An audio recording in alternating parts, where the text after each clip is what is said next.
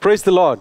As I was seeking God for the word for this Sunday, I was inspired in my spirit to talk about enduring faith, faith that is tested. But I would like to start with a story, a story of a French tightrope walker, Charles Blondin. He was the first person to cross a tightrope stretched 11,000 feet across the mighty Niagara Falls. He walked across 160 feet above the falls several times, and each time with a different feat. Once in a sack, once on a bicycle, and in the dark, blindfolded. Uh, once he even carried a stove and cooked an omelette. Now that should be interesting. And once the crowd cheered him up because he was pushing a wheelbarrow holding a sack of potatoes. Charles Blondin stopped and asked the audience, Do you believe I can carry a person in this wheelbarrow? And all of them said, Yes, we believe you can do it. And indeed, they believed that he can do it. He paused and he asked them a question back Who wants to get into the wheelbarrow? Well, there was absolute silence. It's one thing to say we believe, it's yet another thing to trust somebody and give yourself because you trust that person. It's one thing to say, Jesus, we believe you. It's yet another thing to trust Jesus and in Him and Him alone. Well, faith is not just a feeling, it's, it's not just believing God, it is trusting Him and Him alone. And when we trust Him, He will allow the faith to be tested. Faith is like a muscle, it must be used, stretched, so that it grows from strength to strength. And that's what I want to focus on today.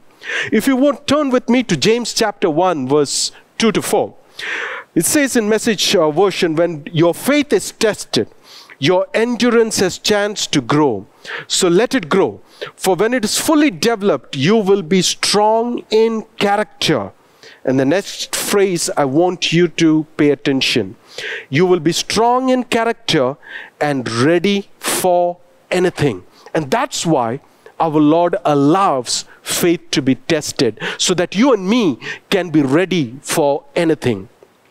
The intent of faith being tested is God wants us to be ready for anything. He wants us to grow in our trust in Him. The faith that cannot be tested cannot be trusted. Well, today I want to meditate on few tests from a list of heroes of faith in Hebrews chapter 11. But just before we go there, I want to share another example. A patient was undergoing a surgery and for the first time and was visibly very panicky. And the surgeon asked him, Why are you so troubled? The patient said, Doc, this is my first surgery. I've never been through a procedure like this. And the doctor told him, Hey, you know what? This is my first surgery too you can imagine what was the plight of the patient. We don't want to let anyone touch our bodies unless we know they are tested and they are passed some examinations. And that's what we got to do with our faith too. Well, let's turn to Hebrews chapter 11 and we will read through from verse 6 onwards. Hebrews chapter 11, verse 6 to 11. 6 says, And without faith it is impossible to please God. I repeat, it is impossible to please God. We might abide in the love of God, but it is very different to be pleasing God. And if you want to please God without faith, it is impossible to please God. Well, I will go straight into verse 16 because between 6 and 16 there are stories of heroes of faith, but 16 talks about another affirmation from Christ, from God, about people who have survived the test of faith. 16. Therefore, God is not ashamed to be called their God. Who's God? The people who have passed the test of faith. God is not ashamed to be called their God, for he has prepared a city for them too. In message version, it says, God is so proud of them. Of whom? People who have, people who have uh, test, gone through the test and have qualified those tests. Our faith will be tested so that we are strong in character and we are ready for anything. That's what God wants to do in your life and in my life. So if you turn to Hebrews 11 verse chapter 11 verse 7, by faith Noah being warned by God about things not yet seen, Noah received a warning from God. And in reverence, he prepared an ark for the salvation of his household.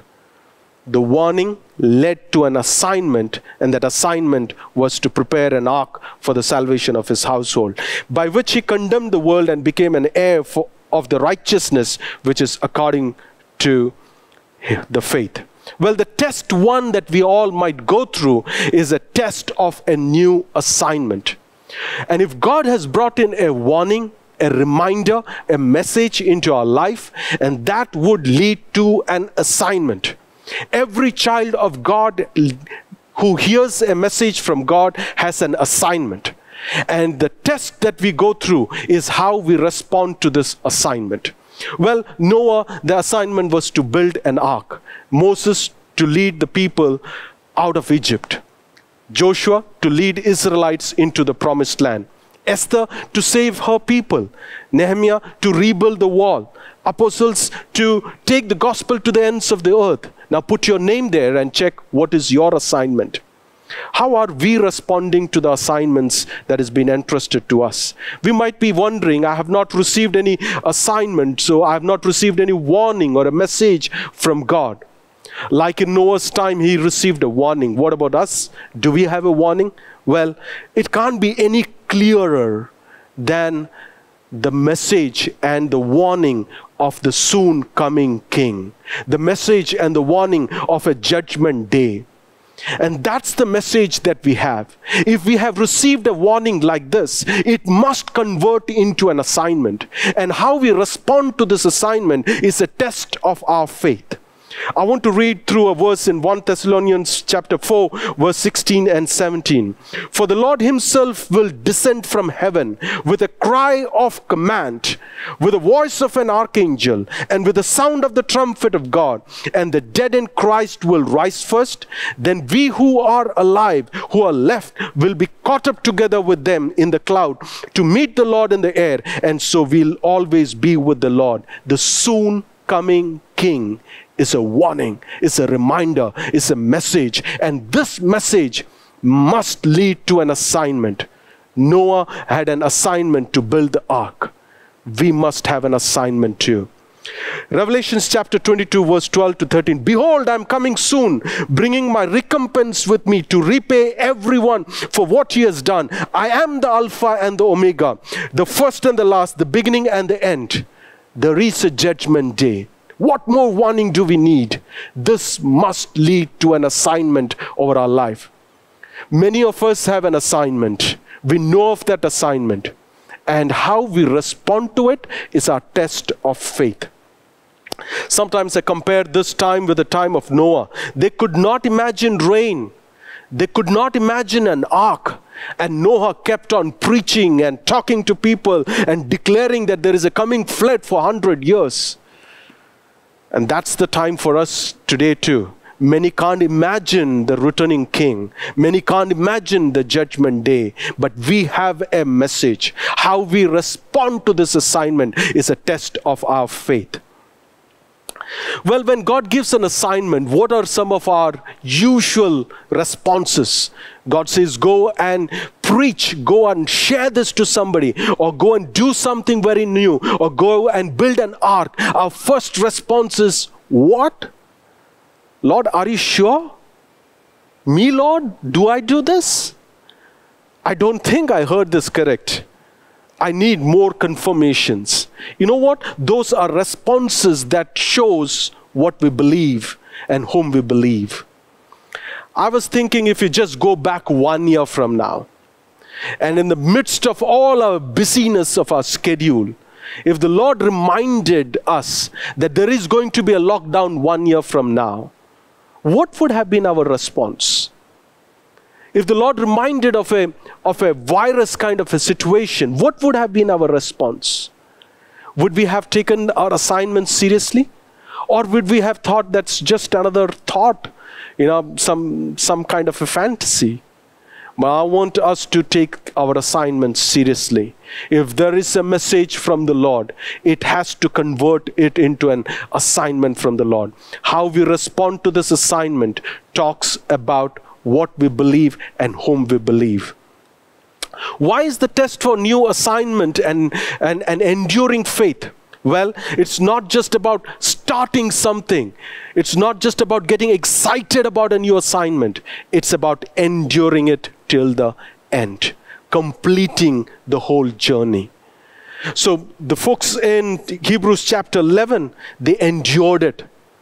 The ark was built. Moses did lead the people out of Egypt. Joshua successfully led them into the promised land. Esther boldly saved her people from annihilation. Nehemiah and his team finished the rebuilding of the wall. Apostles and the disciples kept the faith, ran the race, and the gospel is being preached through the ends of this earth. Think of the assignments God has given you. Well, there are times where we need to decide to step into those assignment. In seasons like this, the need to respond to such assignments are huge. Don't let opportunities pass by. Our God is counting on you. He's trusted you with this assignment. And He's looking for how you and me will respond to this assignment. That's a test of our faith. Let's take a grab of it and let's plunge into it. Take one step at a time and trusting God at His word. Let's make a beginning in faith, one step at a time. Also, be prepared for a long haul. This kind of assignments are not for a 100 meter dash, it's a marathon. And the Lord allows through this process to build our faith to grow from strength to strength. It's one thing to say, Jesus, we believe in you. It's yet another thing to say, Lord, I trust you and I want to take this step in faith. Well, Bible says that acknowledge him in everything you do and he will direct your path. Many a times we are not clear about what's the, the whole journey. Moses was not clear. Noah was not clear. They were not clear about the whole journey, but they were clear about what's the next step. And that's why Bible says his word is like a lamp unto my feet. And if you re- remember, lamp is a small light that can give you light for the maybe next step or maybe the next two steps not beyond that. I'm not i don't think a lamp is like the torch that you see today which can show you light for about a kilometer. No lamp is one which will show you the next two steps and Christ is expecting us to trust Him for His next step. And in the next step, He will give us the guidance for the next step. His word is a lamp unto our feet, and the lamp shows the direction for the next step. Let's take those small steps and move forward in our assignments. I know many who are watching on this video today are have not yet started their assignments. Make a beginning. There are many who have started and have stopped midway. You got to pursue it. You got to persist your faith. You got to be sticking onto that path because it is for a faith that you started with is the same faith that you bring it to completion you got to finally reach the destination, complete what has been entrusted to you. Today, being Father's Day, I want to encourage you, fathers, you have an assignment as a king, as a prophet, as a priest at your home. How are you responding to the pre uh, to this assignment? I'm talking to myself too. To bring your home into a godly order. How are you responding to this assignment? Our king is going to come soon. You and your family. How are you responding to that message? Noah's ark ensured that he and his family were safe. Your ark, you and your family, needs to be safe. And that's God's plan through you. Take up this assignment. Let's move forward. If I read through verse 8, by faith, Abraham, when he was called, obeyed by going out to a place which he was to receive for an inheritance, and he went out not knowing where he was going. The first one is test of new assignment. That's the first thing. The second test is test of new directions. Our God is a God who insists in taking new directions so that you and me grow to be more like Him. And he knows the direction. His plans for you and me is far greater than what we can think or even imagine. He has seen our future even before we were born. While we were in our mother's womb while he was stitching us together he had a plan. He had a plan to prosper us. He had a future for us and He wants to accomplish that in our life, for which He's asking us to take a new direction. And that's what He did with Abraham. He asked him to take a new direction. So that's what Bible says by faith Abraham when he was called he obeyed. Well, today God might be reminding you of new directions. God is interested in changing the course of your life. You and me can remember umpteen times how God changed the course of our life.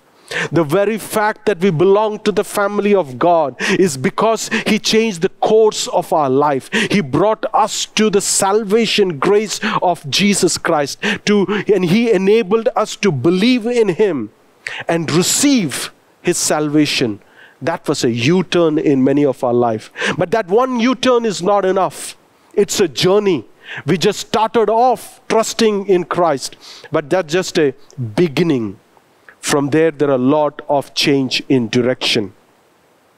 Well, Abraham was doing well with his family at Haran and his business when God called him out of, out, out of that place in Genesis chapter 12, verse 1, where he says, Go forth from your country, from your relatives, and from your father's house to the land which I will show you.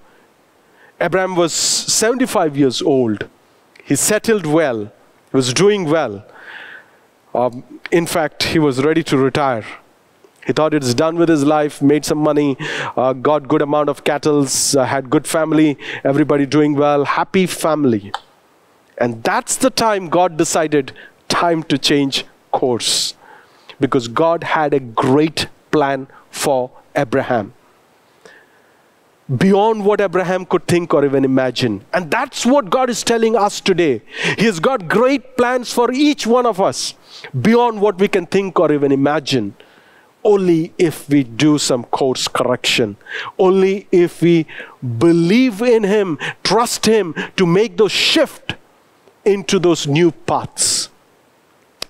Well, God demanded a new direction for Abraham's life. I was just thinking God specializes in U turns. Abraham had a detour in his life and he progressed into a new direction. One of my favorite Saul, Saul had an encounter and made a complete U turn to be a Paul, who once was killing the ones who would follow Jesus, became a follower of Jesus, and gave his life unto the Lord. Jonah did a U turn, and that's an interesting story. He did an U turn, and he ensured Nineveh also did a U turn. Peter denied Christ, and he did a U turn. There are so many U turns in the Bible. In fact, our Lord, time and again through his prophets, have told it multiple times turn back to me. Come back, return to your God. Come back to our God Almighty, and He will rebuild your life, change your life. Come back to God, your God. And that's a call from our living God. And that's been consistent message in the Bible to turn our ways to God. And if we really trust God, we will trust Him when He's asking us to change some directions. I'm believing that there's somebody on this or who's watching this video today whom God is nudging to make some changes in direction. How you respond to those changes is a test of your faith. You might, just, you might say that I believe in Jesus. Well, that's one thing. But if you really trust Him for who He is, we will obey Him and allow Him to do those course correction.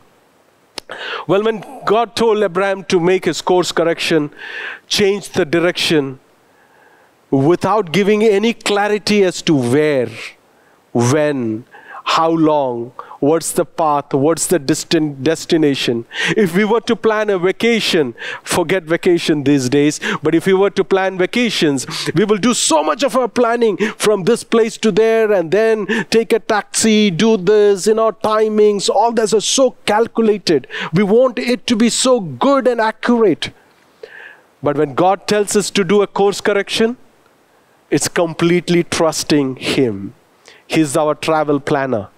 And He plans it beautifully to take us to a place where we cannot imagine, where we would not have even imagined of how, where our life could get through. But what He wants us to do is trust Him, trust Him completely, and trust Him alone. He has planned our life well. He has planned our life even before we were born. And He's got a beautiful plan for us. Only if we trust Him. And when we trust Him, He says, do a course correction. The response that He expects from us is a complete obedience. I like that verse. I like that word in that verse. By faith, Abraham, when he was called, comma, obeyed. There was nothing in between. There was no further, I need more confirmation. I need more uh, details. I need more clarity. I'm going to wait on this. Well, when you hear from God, do a change, do a course correction. What is expected of us is to just go obey. Abraham heard from God, he obeyed. That's the response he's looking at. By faith, when he was called, Abraham obeyed. Well, it was a major change for Abraham. I don't think he could explain his course correction, change in direction to his relatives and friends. Well, God demanded a new direction. That's it. He just obeyed. Is God asking you for a course correction? a change in a new direction, I want you to start thinking about it. I'm sure the Holy Spirit is nudging some of you to make some correction. He has nudged you through this lockdown period and has been talking about making some, some of those changes. It's about time we show that we not just believe in Jesus, but trust Him at His word and, and trust Him to make those changes in our life. Well, what is our usual response when God asks us to make some changes? Well, where, God? What are those areas? Is that true? Um, is this reasonable? Can we rationalize this? All these words. It sounds weird. Well, Abraham did not have any question. He just trusted. Why? Because he knew who is asking him to make those course correction. And that's important. For some of us, it's a U turn. For some of us, it could be a slight shift, a slight change. Well, how do we respond to this call for change of course correction is a test of our faith. Our Lord is asking you, uh, some of us to change the course of our life to be a disciple and to be a disciple maker. That's a call over our life to be a disciple and to be a disciple maker. And that's a big call. The only way to clear the test is to obey Him completely. Over the last couple of weeks, maybe some of us could have slowed down, could have backslidden, some of us would have moved forward, some of us would have got into a sinful ways. But today, if you're listening to this voice to this word, to this message, I want to tell you the Spirit of God is asking you, nudging you to come back to Him, to be a disciple of the living God. And to do that, it requires a U turn. That's the test of your faith. You believe in this living God, you got to respond by obeying His call. I'm going to pray for some time so that we take that decision to make a U turn. And that's important. Unless we take the turn, unless we make that shift, we are not going to progress. We will not go to the next level of test of faith. When God called Abraham, Abraham obeyed. There is an immediacy to the obedience. And that's what God is nudging us today. If, if that's you, I want you to close your eyes and pray with me. Father, we come to you, Lord. We hear your voice, God, that you're calling us to come back to you, to turn away from those wicked ways and to turn to you, like the way you called Abraham. And Abraham obeyed. Lord, today we want to make up our mind, God, and decide we want to follow you and you alone. Spirit of God, I pray, won't you just minister to your people and do a work in our spirit, in our heart, that we will turn from those evil ways and we will turn to you. If God is asking you to make a course correction in the way you minister, in the way you work, in the way you lead your family, decide now that Lord, I have decided to obey you and follow you. That's a test of faith. I want each one who is, who is watching this video to clear the test so that we go for the next level of test of faith. We need to grow from strength to strength. I praise God for you, for your obedience. I praise God for, for listening to the voice of the Spirit and turning your life. The heaven is rejoicing for every soul that is turning their attention back to God. Well, we'll read through the next verse. By faith, he lived as an alien in the land of promise, as in a foreign land, dwelling in tents with Isaac and Jacob, fellow heirs of the same promise. Verse 10. He was looking for the city which was which has foundation and whose foundation, whose architect and builder is God. Well, there is the third test test of delays. We all believe in the promises of God, and promises of God is yes and amen. Every word that He has spoken will come to pass, it will not go in void. And that's so true about the word of God. But the timing belongs to God. In fact, when we talk about delays and waiting you know this is this is a kind of generation where even if there is a 2 second video in youtube we we find it very frustrating. We would like to scan through some 15 to 16 posts of instagram. Uh, i take about 15 16 seconds but some of you could do that in a couple of seconds. We just want things so fast. Uh, waiting is very difficult and i thank god for lockdown because the lockdown did teach us that we could slow down a lot. We could wait, and waiting is possible. There is an inherent need for speed, for for the la- and, and which has moved into a lack of patience, and that is pretty much a culture today.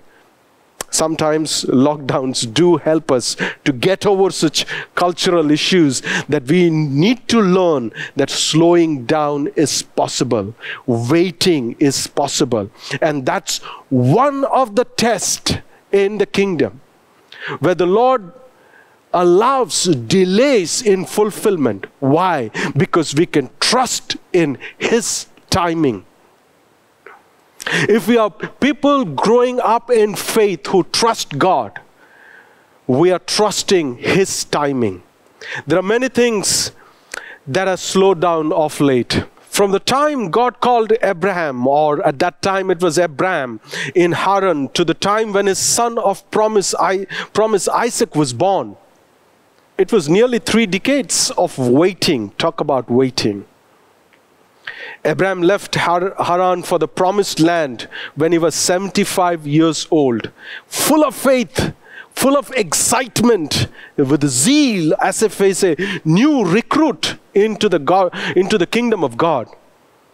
Only at the seasoned age of 100 did God decide that it was time to make good of the promise. So, what do you do in that time frame of 25 to 30 years? Well, when we read the scriptures, with those whole portion can be read in 30 minutes from Genesis chapter 12 to 25. We would read it in 30 minutes and we feel, all right, so that's that's just the next thing in Abraham's life. But that's not true. 30 years of waiting. It was not easy. I must tell you, it was not easy. How much ever I stretch my imagination, I know I would underestimate the personal struggles that Abraham would have gone through, the questions that he would have needed to ask, needed to answer, the kind of, you know, um, situations that he would have gone through, the mockeries that he would have gone through. And he kept on believing that God will fulfill a promise of his son. God will fulfill the promise of a nation. And that was a big promise. Talk about Noah.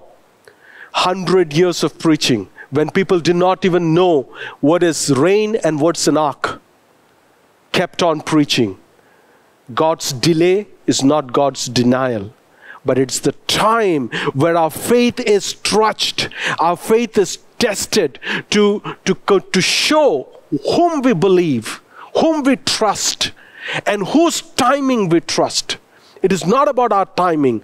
God's timing is the best timing. He has got a perfect sense of timing. It's about Him and Him alone. Well, a lot of life would have happened for, for Abraham, a lot of questioning, a lot of doubting, a lot of thinking. He would have gone through an ordeal. But that's, that's a kind of a sequence that we all go through. We get excited about a promise. And in that excitement, we go pronounce the promise, which is what we got to do. We got to declare the promises of God. We got to speak it out, believing that the promises is yes and amen. That excitement is quite natural. But after a period of time, we go into a time of waiting. And that's the time where we slow down in what we started declaring. We slow down in, in, in believing that God's promise is true. And once the time of waiting is over, then we go into a time of doubting. Did I hear this correct? Is this true? Maybe I'm not qualified. Maybe I'm not ready for it. Maybe I got this wrong. We go through this time of doubting. And after this time of doubting, when we go through its test, we might even deny that there is a promise that exists. And that's what Christ is looking at in our life. What is our response through that time period where we have those doubting and waiting and testing? What's our response? Do we still hold on to those promises? Bible says hold on to those promises. Hold on. Fix your eyes on Jesus who is the author and perfecter of our faith. Don't slow down. Well, after testing, we go through a time of refining and then it gets into a time of fulfillment. That's a kind of a journey. For some, it could be one year, for some, five years, for some, 30 years. I don't know what's the time period that you would need to go through. But I want to tell you, we'll all go through certain delays in promises. But that does not mean the promises will not be fulfilled. Promises of God will be fulfilled. But the time frame that it would take is God's timing. And during that time frame, what is expected of us is to hold on to His promises, hold on, trusting Him and Him alone. If He has given us a word, that's a word from God our Father. It's a word, it's a promise, and He's a promise keeper. In His time, He will do the best thing for us. Have you faced situations where we are in a hurry and God does not seem to be in a hurry? Well, God is never in a hurry. He's not in a hurry. What he's really interested is our character. He's really interested is shaping us back to the image in which he created, shaping us to be more like Jesus. That is his interest. And to keep that interest, he allows the time frame where the faith is tested. Some of us have been waiting for marriages to happen, for healing to happen, long time, for promotions to happen, for financial breakthroughs to happen, for jobs. Well, if God has promised, He will bring it to pass. trust God and trust His timing. That's a test of faith we all need to clear. And when we clear this, He takes pride to be called their God. People of God, I want to encourage you. God's timing is the best. Allow the test of faith. He's not denying it to you, He's testing our faith. Without faith, we cannot please God. And if we are people of God who wants to please our Father, the best thing that we can do is to live by faith. How do we respond to God's timing? Well, God's timing is perfect. Accept God's timing. As you narrate, as you declare the promises of God, also declare it's good in God's timing. God's never early, never late, but always on time. Our timing isn't God's timing. Our God's timing always feels long and sometimes it feels delayed, but that's the best for us. During this time of waiting, it grows our faith as we are forced to wait and continue to trust in Him. And, to, and it makes certain that He and He alone will take the glory when the promise is fulfilled. His delay is not denial. Wait on the Lord. Our God is a faithful God. I want to declare it. Our God is a faithful God. Everything that He promised, He will bring it to pass. These are three tests that I wanted to share today. I know many of us would be going through this test. And the reason that the Lord is bringing this word to us is to clear this test and move to the next level, to clear this test and please God, to clear this test and allow God to take pride, to be called, to be called as, I, you know, I am their God. Let's clear this test the test of a new assignment, the test of a new direction, a test of God's timing. This is critical to grow in our faith journey. I want to encourage you, people of God, if you're going through any of these challenges, any of this test, He is the author and perfecter of our faith. He has given us a measure of our of faith to each one of us. He will not allow us to be tested beyond what we can endure. But He's looking for somebody who will endure the test, who will start well and finish well. And through this process, He would continue to trust in God and God alone. Let's rise up as people of God, immaterial of all our circumstances, immaterial of all the changes that is going through we continue to trust in our God, who is the sovereign God, who reigns on high. He, he is the first and the last, He is the Alpha and the Omega, and He is watching over your life. You are very precious to Him. Your life matters to Him, and He has got a fine future for your life. Trust Him and trust Him completely. God bless you.